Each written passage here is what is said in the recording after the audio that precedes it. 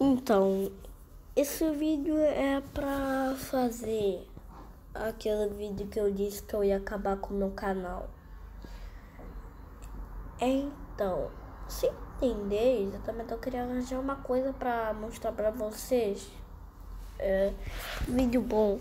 Só que eu não tô arranjando nenhum conteúdo bom pra vocês. também eu tive que fazer algumas outras coisas nesse meio dia, provavelmente escola, né?